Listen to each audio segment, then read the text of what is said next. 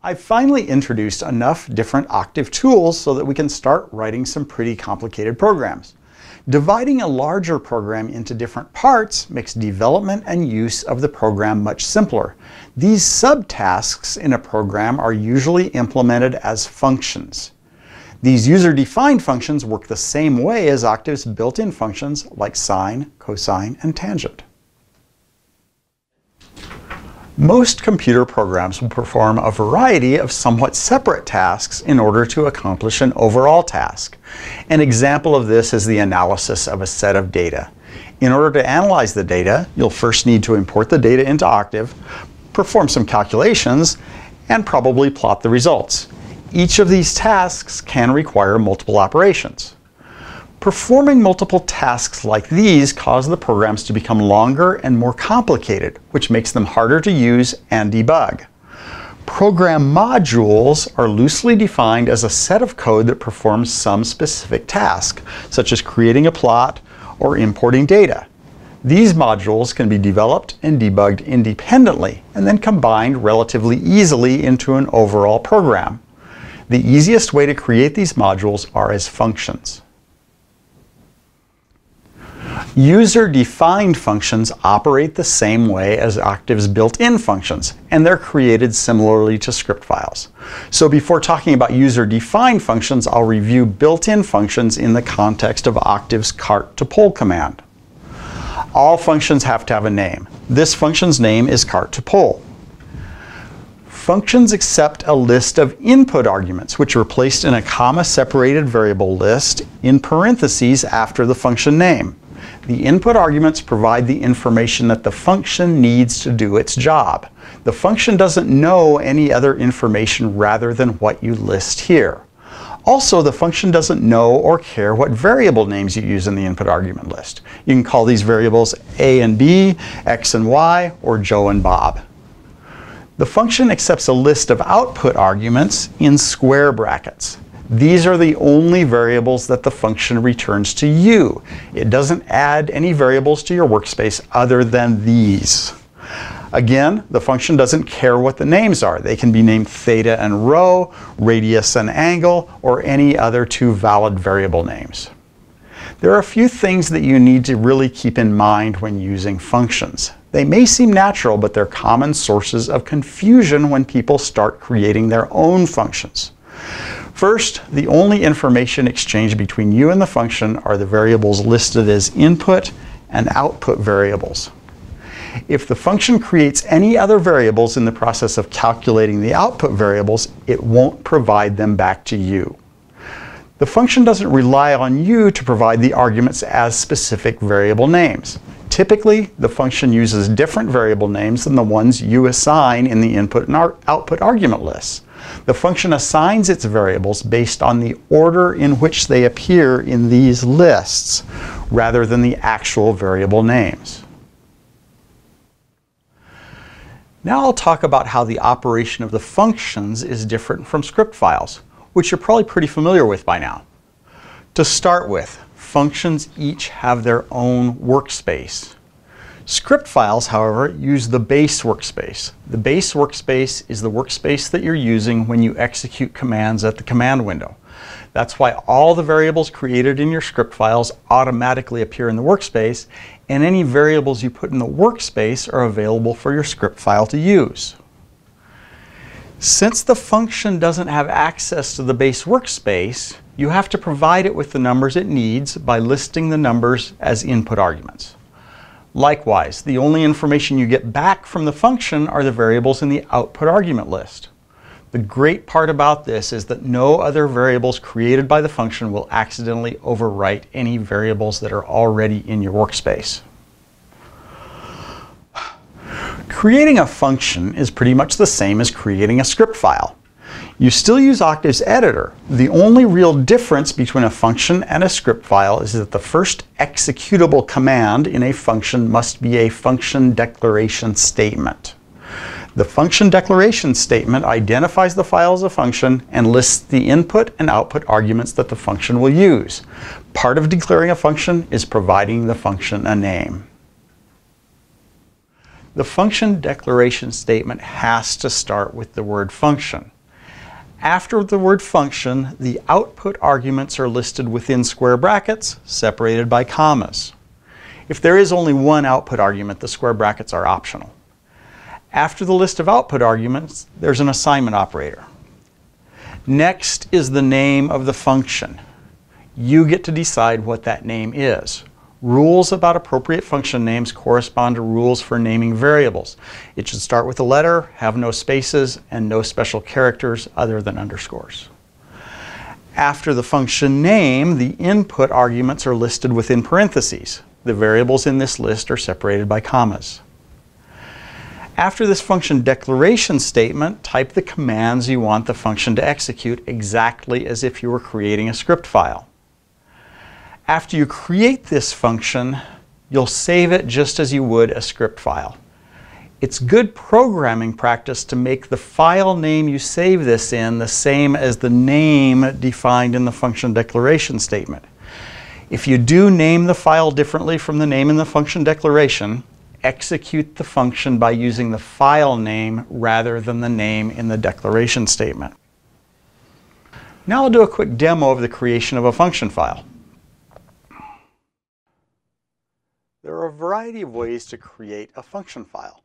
All of these are pretty much identical to creation of script files except that the function file has a function declaration statement. I'll just create function files the same way that I create script files and type my function declaration statement myself. I'm going to create a file by using the edit command at the command prompt. I'll type edit function underscore demo and press enter. The file gets created in the current folder and the usual blank editor window opens. The first thing I need to do is create a function declaration statement. The first word of any function file will be function. My function is only intended to demonstrate how functions work, so I'll just create some random input arguments. Input arguments are contained in square brackets, so type an open square bracket and a couple of variable names, var underscore 1 and output 2. Then close the square brackets. Next, type an assignment operator. The function name goes after the assignment operator. It's a good idea to make the function name and the name of the file the same, so I'll name my function function underscore demo. If you do happen to make the function name different than the file name, use the file name when you execute the function. Then, inside parentheses, list your input arguments. I'll have two inputs, in underscore 1 and in arg2. And close the parentheses. From here on, just type the commands you want your function to execute. Of course, you'll probably want some comments, so for this demonstration, I'll add a useless one. So percent, this is a function that does some stuff. Next, I'll do some random mathematical operations. I'll create a variable named myvar, which is 2 times in underscore 1 plus 3. Now I'll define one of my output arguments, var underscore 1, as the product of myvar and in arg2. var underscore 1 equals myvar dot asterisk in arg2. Finally, I'll create the output argument, output 2, as 2 times myvar plus in arg2. That's all I'll have the function do, but I do want to comment on a few things. First, the function doesn't need to know anything except the values for the input arguments, in underscore 1 and in arg2, and the values of the usual predefined variables like pi, i, and j. Those are defined in any workspace that gets created, including the functions. Second, I need to define all of the arguments in my output argument list. If I try to return an undefined variable, Octave will complain. I followed all of my commands with semicolons, so the function itself doesn't display anything in the command window. Finally, the variable myvar gets created by the function, and it's used in a calculation inside the function, but it's not in the output argument list, so it won't be defined in the command Windows workspace. To make the function available to be executed, I just click on Save. But before I actually run the file, I'll make a few comments about executing function files. User-defined functions are used exactly the way Octave's built-in functions are used. All input arguments have to be defined before the function is executed. Your function must define all of its output variables before it can terminate. If your function tries to return an unassigned variable, you'll get an error. As with script files, Octave needs to be able to find your function in order to execute it. My usual recommendation is to place the functions you'll be using during a given session in the current working folder. Octave will always look there for functions and files. I'll execute my function from the command window. I can execute the function exactly as I would any Octave built-in function. I need to send some values to the functions, so I'll I need to send some values to the function, so I'll define variables a and b as a equals 3 and b equals 2. Now I'll send these values to the function and return the variables as out1 and out2. So open square bracket, out1, comma, out2, close square bracket, equals function underscore demo, open parentheses, a, comma, b, close parentheses.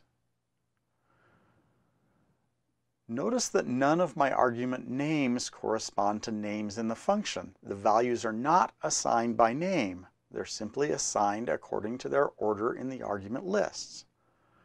So the value in A will get assigned to in underscore 1, since they are both the first variable in the input argument list, and the value of b will get assigned to in arg2 in the function.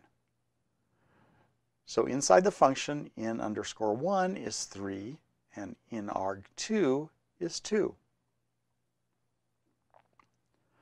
My var is 2 times 3 plus 3, which is 9. var underscore 1 is then 9 times in arg2, or 9 times 2, or 18. So the first out so the first output argument is 18. Finally, output 2 is 2 times 9 plus 2, which is 20. So the second output argument is 20. At this point, Octave's gotten to the end of the file, so the file stops executing, returns the output arguments, and closes its workspace. When I called the function, the first output argument was named out underscore 1, which should be 18, and the second output argument is named out underscore 2, which should get assigned the value of 20. I'll run the function by pressing enter and see if that's what actually happens. Cool. The function works as it was supposed to. Now I'll check the contents of the base workspace by typing WHO. The base workspace has only values for A, B, out1, and out2.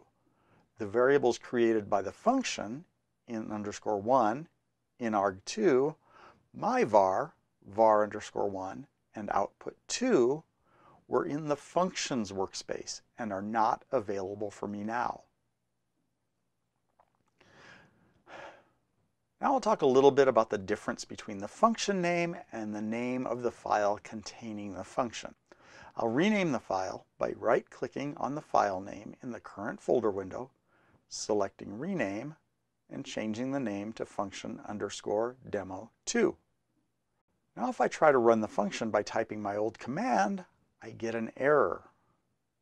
However, I can run the function underscore demo2 file by using its file name in the command. Press up arrow, change the command, and it works, even though the file and the function names don't agree. This is bad programming practice, so I'm going to change the file name back to its original name. Notice that I followed all of my commands in the function with semicolons, so the function itself isn't displaying anything. The displayed values are the result of executing the function. I'll delete the semicolons after the creation of the myvar and var underscore 1 variables, save the file, and rerun it. The function runs and displays the values for myvar and var underscore 1. Then the function terminates, sends the output arguments to the workspace that are assigned to the out1 and out2 variables.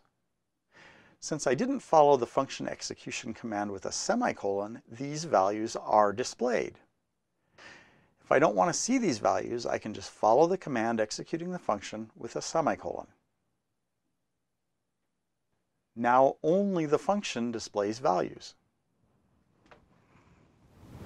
Finally, I want to mention a few topics that are useful to know but are probably not crucial for creation and use of most functions.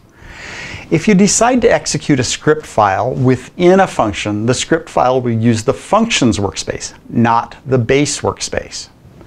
The function stops executing when one of two conditions are satisfied when the end of the file is reached or when a return command is encountered. This will become more important when we start writing programs that make decisions and perform different actions based on those decisions. Also, Octave's text editor may suggest that you end your function with an end statement, which is simply the word end. This is probably good programming practice, but it's not necessary. There are a couple of variables that get defined in the functions workspace whenever a function is called. They're called nargin and nargout, and they contain the number of input and output arguments. You can set up your function to do different things based on the number of arguments. That's why a lot of built-in Octave functions can have alternate uses based on the number of arguments. You can define variables that will be available in all workspaces so that they're available to your functions without sending them to the function as arguments. You do this with the global command and the resulting variables are called global variables. Be careful if you do this. A global value redefines the variable value everywhere.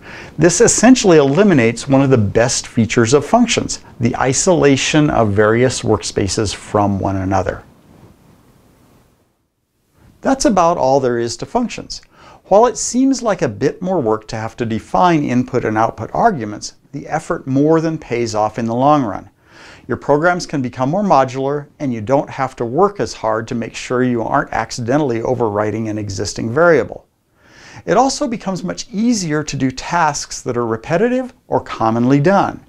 This advantage will become more obvious when I talk about decision making and looping structures.